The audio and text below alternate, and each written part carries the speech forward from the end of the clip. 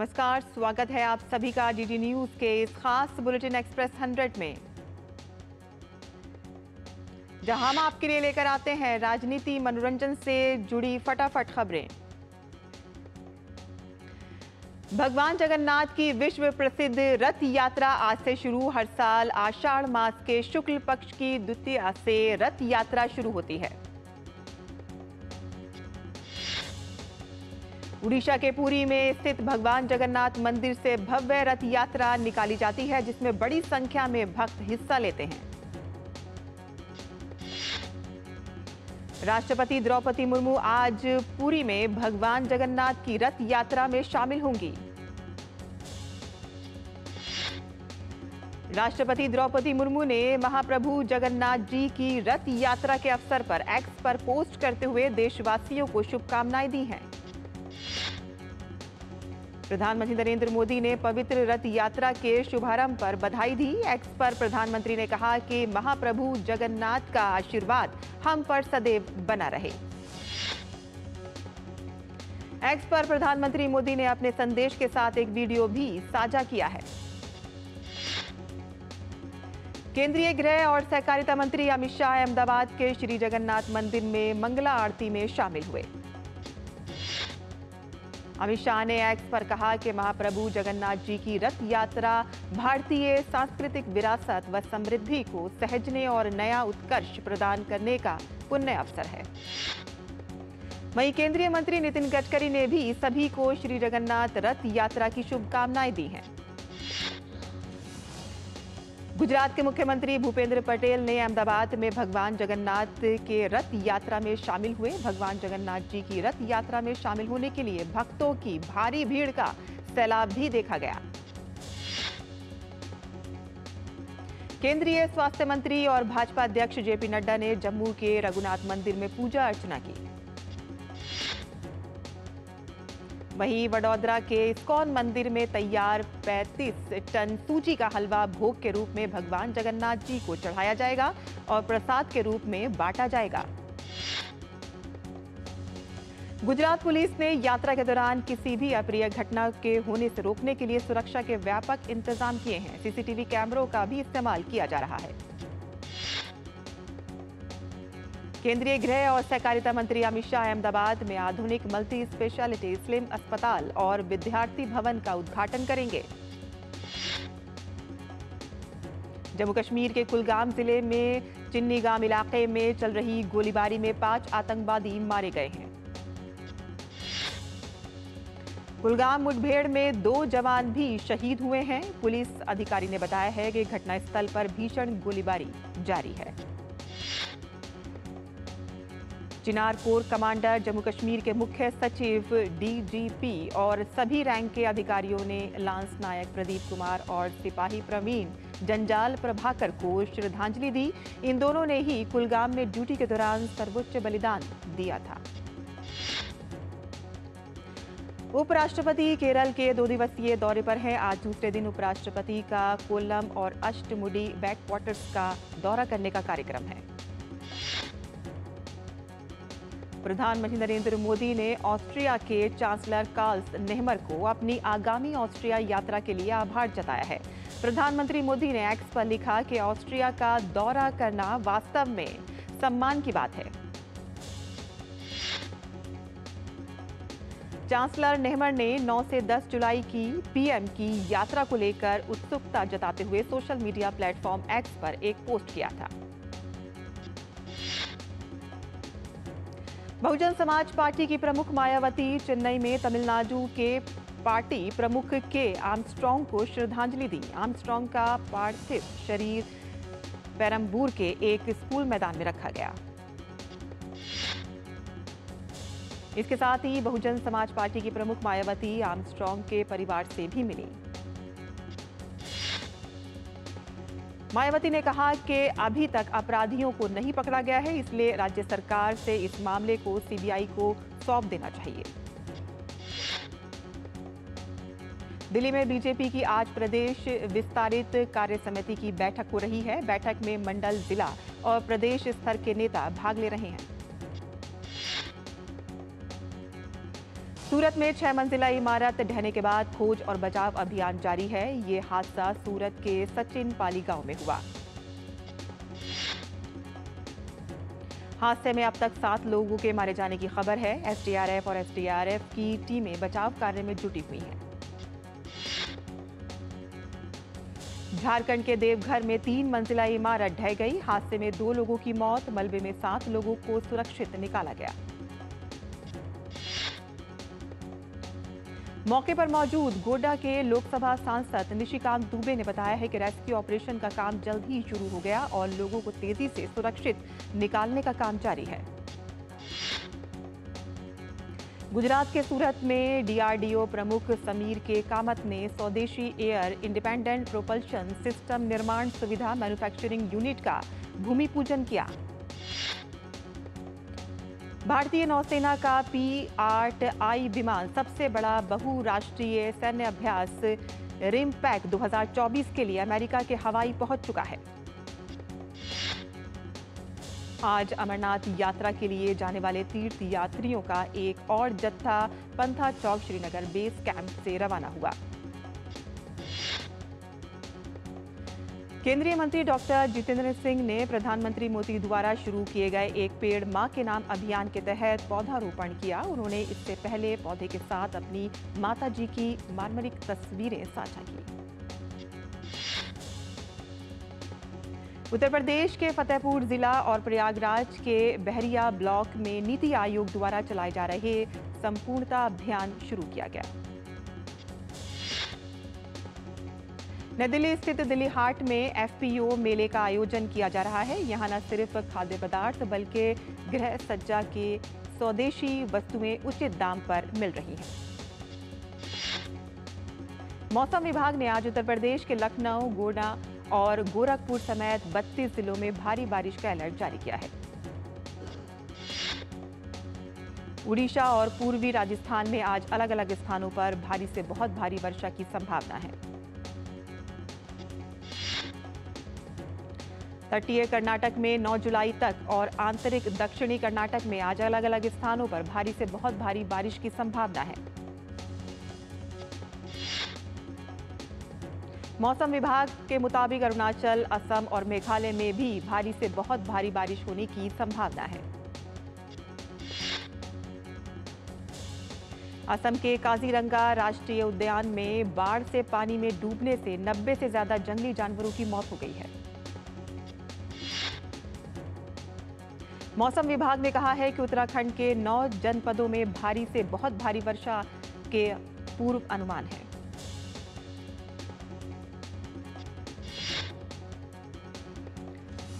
और यहाँ बुलेटिन में फ़िलहाल लेते हैं एक ब्रेक। आप देखते रहिए डीडी न्यूज़। दादी के हाथों का जादू और खुशबू से महकता घर। एमडीएच गरम मसाला असली मसालों से भरा हूँ मैं। क्योंकि हर रिश्ता है स्वाद से जुड़ा।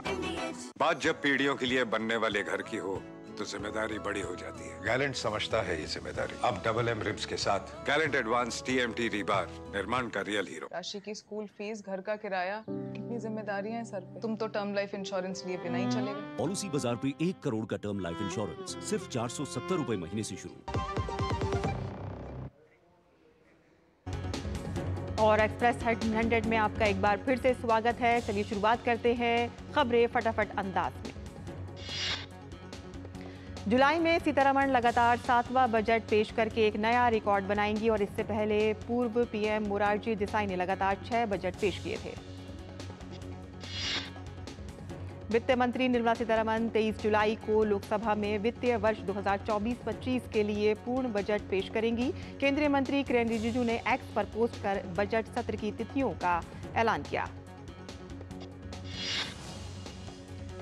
दिल्ली के प्रगति मैदान में शनिवार से शुरू हुआ पंद्रहवा अंतर्राष्ट्रीय बी टू बी ट्वाई एक्सपो 2024 ये दक्षिण एशिया का सबसे बड़ा मेला है। चार दिवसीय अंतर्राष्ट्रीय खिलौना मेले में 300 से अधिक घरेलू कंपनियों और अन्य देशों के 100 से अधिक विदेशी खरीदार शिरकत कर रहे हैं। इस मेले के ज़रिए निर्माताओं, व्यापारियों और अंतिम उपयोगकर्ताओं को एक साथ लाने में मदद मिलेगी और मेले में स्वदेशी खिलौनों की धूम देखी जा रही है, जो चाइना के बाजारों को कड़ी टक्कर दे रही है।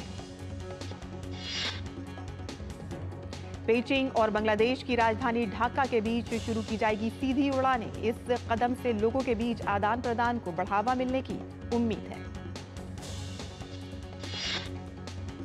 चाइना सदर्न एयरलाइंस ने ढाका में आयोजित एक बैठक में घोषणा की है कि वह 15 जुलाई से पेजिंग से ढाका के लिए सीधी उड़ान शुरू करेगी। बांग्लादेश में चीनी राजदूत याओ वन ने Peking Dhaka line promotion conference में कहा है कि चीन और ढाका के बीच सीधी उड़ानें शुरू होने से दोनों देशों के बीच विमानन नेटवर्क में वृद्धि होगी। मुख्यमंत्री हेमंत सोरेन ने federation of Jharkhand chamber of commerce and industries की ओर से रांची में आयोजित स्टार्टअप कॉन्क्लेव का उद्घाटन किया। हेमंत सोरेन ने सार्वजनिक कार्यक्रम में शिरकत करते हुए कहा है कि हमारी सरकार राज्य में ज़्यादा से ज़्यादा निवेश लाने और उद्योग को स्थापित करने के लिए ठोस कदम उठाएगी। हेमंत सोरेन ने कहा है कि जिन उद्योगों का विस्तार होना था वह सिमटते गए और इसीलिए राज्य सरकार उद्योगों की ऐसी बुनियाद डालना चाहती है जिसका लाभ लोगों को पीढ़ी दर पीढ़ी मिल सके। केंद्र सरकार ने बिहार में दो स्पेशल इकोनॉमिक जोन स्थापित करने पर दी सहमति। बिहार के उद्योग विभाग के मंत्री नीतीश मिश्रा ने सोशल मीडिया के ज़रिए दी जानकारी। नीतीश मिश्रा ने कहा है कि अभी कुछ औपचारिकताएँ शेष हैं, जिनमें बयाडा द्वारा भूमि आदि से संबंधित आवश्यक दस्तावेज़ उपलब्ध कराया जाएगा एवं आगे की प्रक्रिया पूर्ण करते हुए बोर्ड ऑफ़ अप्रूवल के समक्ष स्वीकृति के लिए भेजा जाएगा। जून महीने में पंद्रह हज़ार से अधिक कंपनियों ने भारत में अपनी यूनिट सेटअप करने के लिए पंजीकरण कराया है। इनमें कई विदेशी कंपनियाँ भी शामिल हैं। भारत सरकार की ओर से बड़े इंफ्रास्ट्रक्चर प्रोजेक्ट में निवेश के कारण स्टील और सीमेंट की मांग ऊपर जा रही है, जिससे निजी निवेश बढ़ रहा है और रोज़गार के अधिक अवसर लोगों को मिल रहे हैं। एफएमसीजी सेक्टर में कंपनियों की राजस्व वृद्धि चालू वित्त वर्ष में नौ सात से नौ प्रतिशत के बीच रहने का अनुमान है। क्रिसिस रेटिंग ने रिपोर्ट जारी कर कहा है कि चालू वित्त वर्ष में अपेक्षित राजस्व वृद्धि को बिक्री की मात्रा बढ़ाने के समर्थन मिलेगा। क्रिसिल रेटिंग ने कहा है कि उत्पाद, खंडों और फर्मों के लिए राजस्व वृद्धि अलग अलग होगी। ग्रामीण मांग में सुधार से इस वित्त वर्ष में एफ़ एंड बी खंड में आठ नौ प्रतिशत की वृद्धि होने की संभावना है। होम इंटीरियर और किचन डिज़ाइन में अग्रणी रैगलो किचन्स ने की बेंगलुरु में अपनी पहली फ्रेंचाइज खोलने की घोषणा। फ्रेंचाइज के मालिक विकास ने रेगलो किचन्स के साथ अपनी साझेदारी पर कहा है कि उनके लिए होम डिज़ाइन के क्षेत्र में अपनी पहचान बनाने का एक बड़ा अवसर है और साथ ही दक्षिण भारत में एंट्री करना कंपनी के लिए एक बहुत ही मील का पत्थर है। फ्रांस में आज संसदीय चुनाव के दूसरे और अंतिम चरण के लिए मतदान होना है और इससे पहले 30 जून को पहले चरण का मतदान हुआ था। पहले चरण के मतदान के बाद नेशनल रैली की मरिन ली पेन को बढ़त मिलती दिखाई दे रही है। यूरोपीय चुनावों के नतीजे आने के बाद तीन सप्ताह पहले फ्रांसीसी राष्ट्रपति इमैनुअल मैक्रोन ने अचानक जल्द चुनाव करवाने की घोषणा की थी। फ्रांस के संसदीय चुनाव के पहले चरण में रिकॉर्ड मतदान हुआ है। स्थानीय समयानुसार शाम पाँच बजे तक 60 प्रतिशत मतदान हुआ, जो दो साल पहले हुए चुनाव से 20 प्रतिशत अधिक है। केनिया के राष्ट्रपति विलियम रूटो ने देश में उत्पन्न अस्थिर माहौल के बीच राष्ट्र को संबोधित किया। उन्होंने संबोधन में कहा है कि वे जल्द ही सरकार में बदलाव करेंगे। केनिया में बीते दिनों कई विरोध प्रदर्शन जारी हैं। केनिया में नई कर वृद्धि के खिलाफ सरकार विरोधी प्रदर्शनों का दौर संसद पर हिंसक हमले के साथ समाप्त हुए थे। पश्चिम अफ्रीकी देश नाइजर, माली और बुर्किना फासो ने साहेल स्टेट्स से गठबंधन के पहले शिखर सम्मेलन में एक परिसंघ संघी पर हस्ताक्षर किए। पंद्रह सदस्यीय देशों वाला आर्थिक संगठन इकोवास, नाइजर, माली और बुर्किना फासो को इस क्षेत्रीय आर्थिक ब्लॉक से बाहर रखकर उन्हें लोकतांत्रिक शासन में लौटने के लिए लगातार आग्रह कर रहा है। तूफ़ान बैरल से अब तक 10 लाख से अधिक लोग प्रभावित हो चुके हैं। बैरल तूफ़ान से जमैका और करेबिया में भीषण तबाही मची हुई है। इस शक्तिशाली तूफ़ान से कई लोगों की मौत हो गई है। संयुक्त राष्ट्र के मानवीय सहायक सहायताकर्ता राहत कार्य में जुटे हुए हैं और लोगों को सुरक्षित स्थानों पर पहुँचाने का काम कर रहे हैं और बैरल वर्तमान में मैक्सिको की खाड़ी के बाद उत्तर पश्चिम की ओर बढ़ रहा है। बैरल की फिर से तेज होने की आशंका जताई जा रही है। सोमवार को ये तूफ़ान अधिक तेज़ी से टेक्सास की ओर बढ़ सकता है। हालाँकि इसके बाद इस तूफ़ान के कमज़ोर पड़ने की पूरी संभावना है। नेपाल के विभिन्न इलाकों में भारी बारिश के बाद जल भराव देखने को मिल रहा है। कई इलाकों में बारिश के बाद बाढ़ की स्थिति यहाँ पर पैदा हो गई है और जनजीवन बुरी तरह से प्रभावित हुआ है। राजधानी काठमांडू के अलावा ललितपुर और भगतपुर समेत कई जगहों पर लोगों को बाढ़ जैसी स्थितियों का सामना करना पड़ रहा है। रूसी सेना ने यूक्रेन की सीमा पर दक्षिणी बेलगोरोड और क्रुक्स क्षेत्र में सात साथ यूक्रेनी ड्रोन्स को मार गिराने का दावा किया है।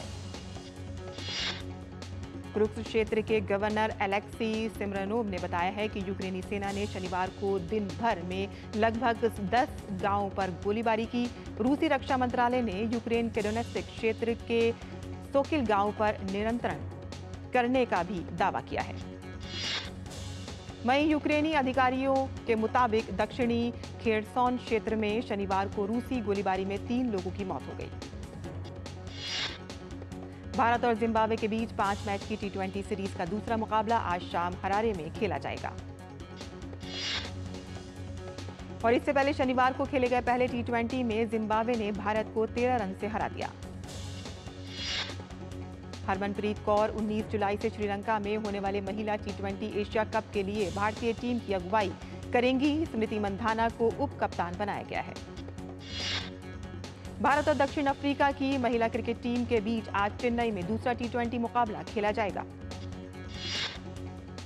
कनाडा ओपन बैडमिंटन में भारत के प्रियांशु राजावत ने जीत का सफ़र सेमीफाइनल में समाप्त हो गया है। फ्रांस के एलेक्सी लानियर ने प्रियांशु को सीधे गेम्स में इक्कीस सत्रह इक्कीस दस से हराकर सेमीफाइनल में जगह बनाई। विम्बलडन के महिला एकल में शीर्ष वरीयता प्राप्त ईगा श्वेतनिक तीसरे दौर में हार से बाहर हो गई हैं। श्वेतनिक का को यूलिया ने हराया। और यहाँ और यहाँ बुलेटिन में रुकते हैं एक छोटे से ब्रेक के लिए हम जल्द हाजिर होंगे। बढ़िया है प्राकृतिक हल्दी मिर्ची धनिया। नहीं मिर्ची धनिया हल्दी एम डी एच. ज़्यादा उपज और भरपूर मुनाफा भी। दोनों मिलेंगे टोरी से। एक हाथ में खरपतवार की हार। और दूसरे हाथ में ज़्यादा पैदावार। समझे आई आई एल के ट्रैक्टर ब्रांड का टोरी। अब खरपतवार होगा हक्का बक्का। बढ़ेगा मक्का। वो मिस्टर विकास की फ़ाइल आप पॉलिसी बाज़ार मैम आपका हेल्थ इंश्योरेंस क्लेम अप्रूव हो गया है। अब आप सर को घर ले जा सकती हैं। क्लेम के टाइम पे हमेशा आपकी हेल्प को तैयार। पॉलिसी बाज़ार एक करोड़ का हेल्थ इंश्योरेंस सिर्फ़ तीन सौ नब्बे रूपए महीने से शुरू। और ब्रेक के बाद आपका फिर से स्वागत है एक्सप्रेस 100 में। देखते हैं खबरें फटाफट अंदाज में। महिला एकल में चौथी वरीयता प्राप्त एलिना साइबाकीना ने आसान जीत के साथ अंतिम 16 में जगह बनाई। महिला एकल में यूक्रेन की एलिना स्वतलीना ने भी अंतिम 16 में पहुँच गई हैं। उन्होंने तीसरे दौर में दसवीं वरीयता प्राप्त ऑनस जॉबियोर को छह एक सात छह से शिकस्त दी चीन की वांग जिनियू ने शानदार प्रदर्शन करते हुए चौथे दौर में जगह बना ली है। उन्होंने तीसरे दौर में हैरिट डार्ट को तीन सेट में दो छह, सात पाँच छह तीन से शिकस्त दी। पुरुष एकल में नोवाक जोकोविच ने तीसरे दौर में ऑस्ट्रेलिया के एलेक्सी पोपरिलिन को छह चार, छह तीन, छह चार, सात छह से हराया। चौथी वरीयता प्राप्त जर्मनी के अलेक्जेंडर जेवरेव ने तीसरे दौर में ब्रिटेन के कैमरन न्यूरी को शिकस्त दी।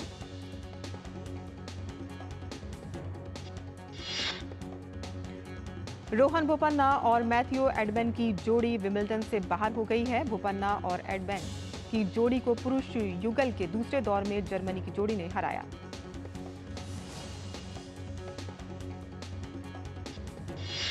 इंग्लैंड ने यूरो कप के सेमीफाइनल में जगह बना ली है। रोमांचक क्वार्टर फाइनल में इंग्लैंड ने स्विट्जरलैंड को पेनल्टी शूट आउट में पाँच तीन से हराकर अंतिम चार में प्रवेश किया।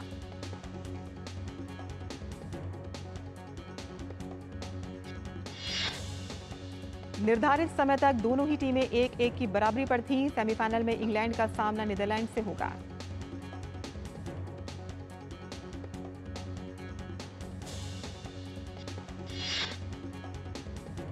एक अन्य क्वार्टर फाइनल में नीदरलैंड ने तुर्की को दो एक से हराकर सेमीफाइनल में प्रवेश किया। म्यूजिकल इंडस्ट्री के दिमिस्ट्रिकल नोमेड ने कहे जाने वाले दिग्गज सिंगर कैलाश खेर का आज अपना इक्यावनवा जन्मदिन मना रहे हैं।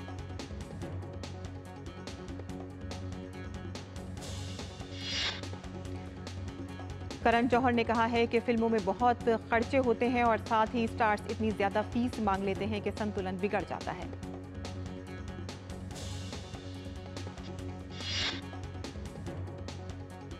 बारह जुलाई को सिनेमाघरों में अक्षय कुमार की फ़िल्म सरफिरा रिलीज़ होने वाली है, जो कि तमिल भाषा की पिक्चर सुरराई पट्टूरू का हिंदी रीमेक है।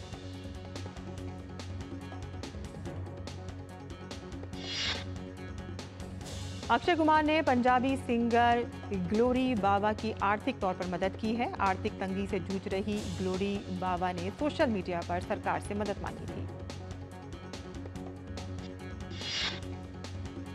फ़िल्म किल बॉक्स ऑफ़िस पर कर रही है शानदार प्रदर्शन। फ़िल्म ने तीसरे दिन सड़सठ अशारिया एक करोड़ रुपए की कमाई की है।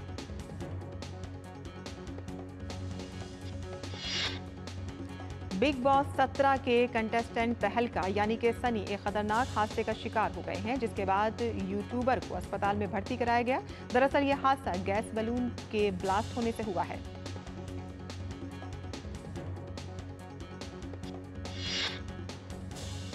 अरमान मलिक की पत्नी Payal Malik Bigg Boss OTT में वीकेंड के बारे में मेहमान बनकर आई हैं और जहाँ उन्होंने घर वालों के सामने विशाल पांडे की नियत का पर्दाफाश किया है।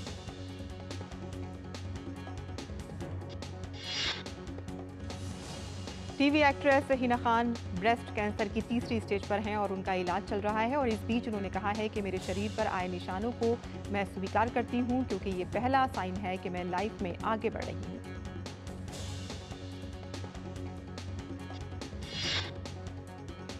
बॉलीवुड के दिग्गज एक्ट्रेस दीना तमान ने बहत्तर साल की उम्र में स्कूल ड्रेस पहनकर अपने स्कूली दिनों को याद करते हुए इंस्टाग्राम पर एक पोस्ट किया है।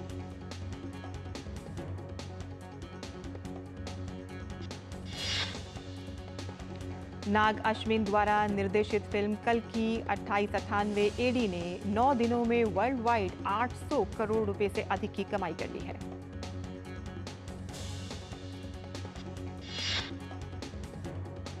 बॉलीवुड के महानायक अमिताभ बच्चन ने फ़िल्म कल की अट्ठाईस अट्ठानवे एडी की सफलता के बाद सोशल मीडिया पर फैंस के प्रति आभार जताया है।